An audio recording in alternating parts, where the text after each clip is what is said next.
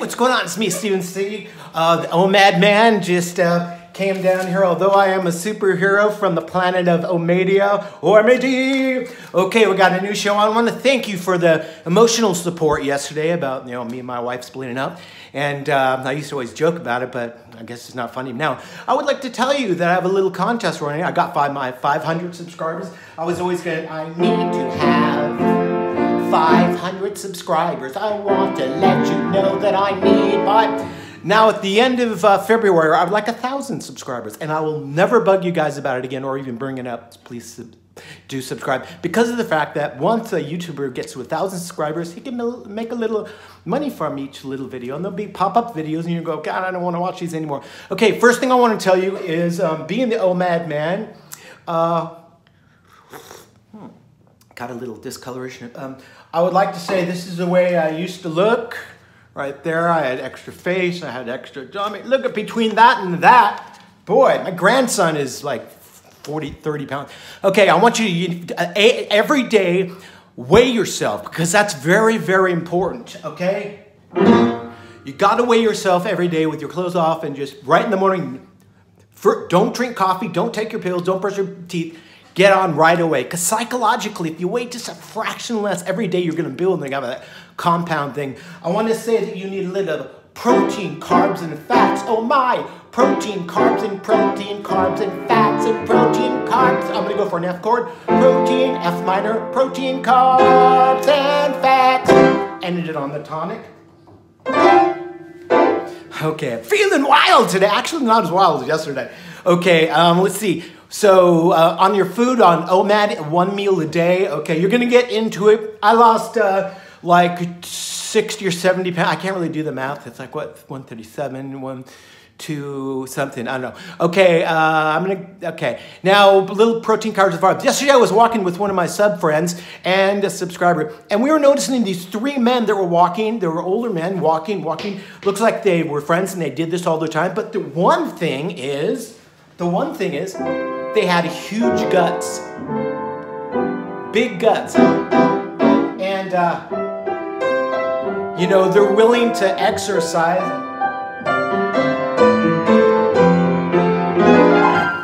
But they're not willing to cut back on the eating. My favorite author, James Allen, As a Man Thinketh, I've read that book probably 700 times. Used to carry it with me. It's only, it takes you 20 minutes to read it.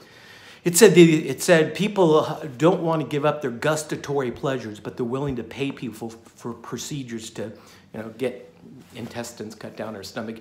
Okay, let's see. So I would like to know why poor people on the side of the road, you know, holding the sign are the fattest. You know why?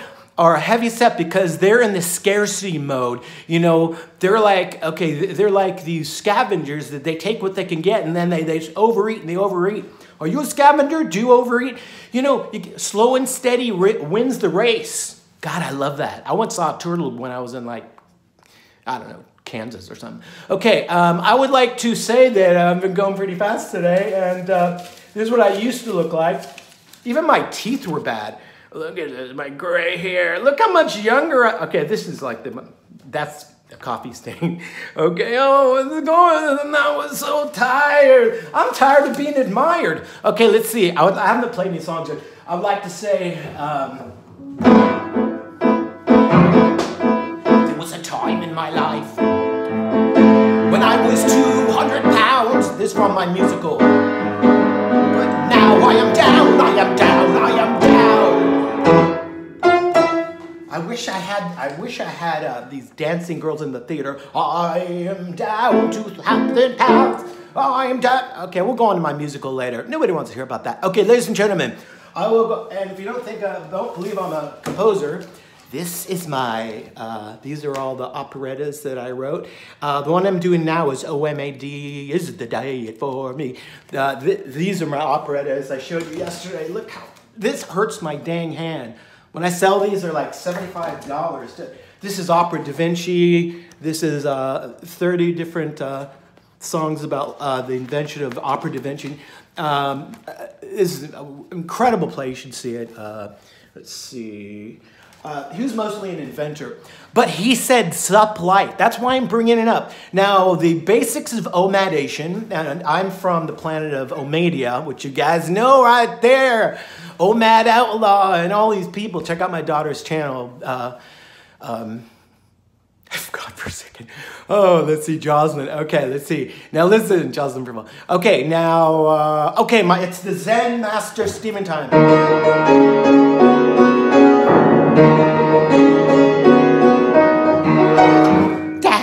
Hyper. I love the energy because I've got so much passion.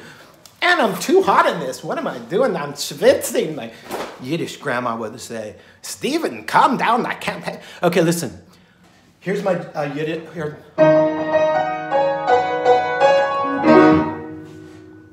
My Zen master, Stephen Omedia, O madman. I was a baby twice in my life. Once when I was born, and also between the ages of 24 and 54.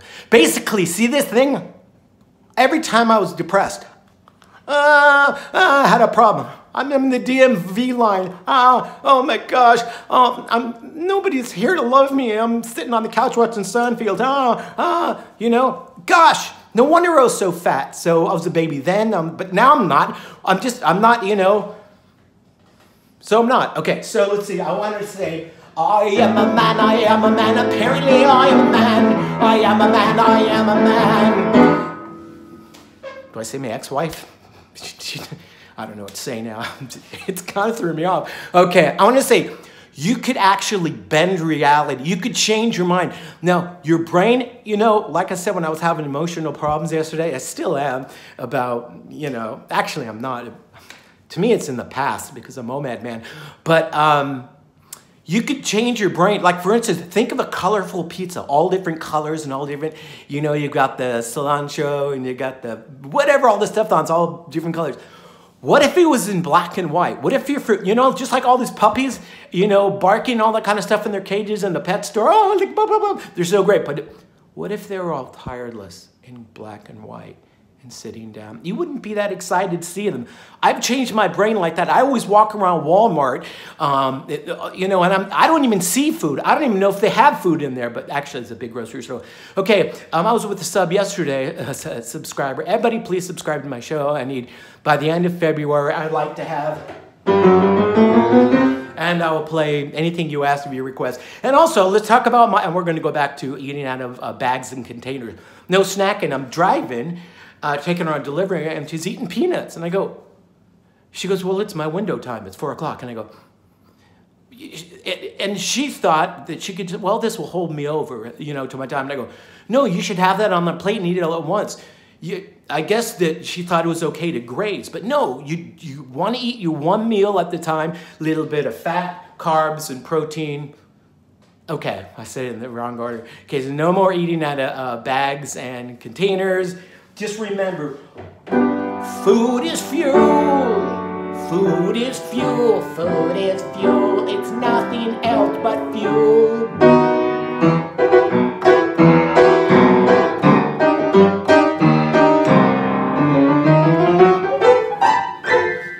Food. It, oh, I like that last one. I like that last note. It's so in tune. This piano, I haven't tuned it forever. I never tune my piano. Okay, listen. Um, so basically, food is fuel. It's not, hey, let's go do Chinese. You hungry? Heck no. Hey, let's go do a pizza. Let's get a couple. I was worried. You guys already know I was worried about that. Okay. Um, does it know? Okay. One of my friends was saying, you know, this is so hard. I'm so hungry. I'm on day seven. Well, the first couple weeks is crucial. But if she had a scale, which she doesn't own one, she would notice that she lost about 10 pounds. If you knew you lost 10 pounds, wouldn't you be more stoked and more happy about it? So um, that's the one thing. Now, don't rely on other people like me, the old madman. I know it's very, very, I know I shouldn't be eating, but I feel like cheating. Oh, madman, oh, madman, oh, madman.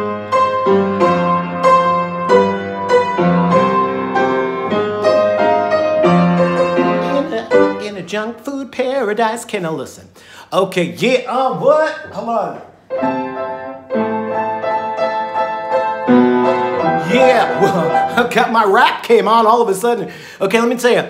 And then, okay, I made a nice uh, chicken boneless, breastless chicken with a little bit of cheese and a little bit of nuts. And then I had a nice date and I sat down and made her that. But her sister got a Hot Pocket. She, she's way different. She got a Hot Pocket, sat there with some Cheetos. She was done.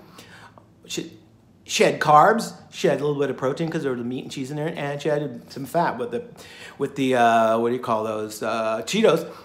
But she finished in three minutes. So basically, I went to the bathroom. I've been in the bathroom longer, washing my hair, my face, and going to the other longer than three minutes. You gotta sit down and enjoy it. And if you really want to go to the next level, like the OMAD man, put your fork down in between bites. Watch. You don't have to go. Put your fork down. I learned that in a uh, hypnotize, um, diet weight loss hypnotizing trick. And uh, I lost weight for like four or five months. But you know what? I tried Weight Watchers, it didn't last. I tried hypnotherapy for weight loss, it, it didn't last. I tried so many things, I tried so many things. Did it, did it, did it. I got this choir that's gonna go, he tried so many things and it didn't last. And then the door opens up and it goes, I know I feel like eating, but I... Check it out. Were Phil Studios. There's a, all this very enchanting things that's going to be happening. Um, oh, it's in, I have a rappers in it. Yeah, oh, what, gonna see my lose? Okay, sorry. Um, okay, so don't rely on anybody else. I like to say there's no shortcuts into Omega. You got to get on the ship, rocket ship with me or with someone else, but get on, on board. And uh, let's see. Um, I was bipolar, but now I'm feeling better. My family didn't like me. OMAD. I love that song. I was bipolar, but now I'm feeling better. Okay, um, there's no shortcuts. You got to pay your hunger debt, and you're going to be hungry. That's just all there is to it. And uh, in conclusion to this,